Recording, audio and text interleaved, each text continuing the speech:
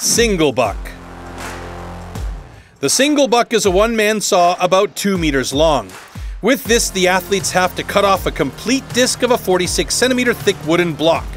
The perfect interplay between rhythm and strength is the key to success.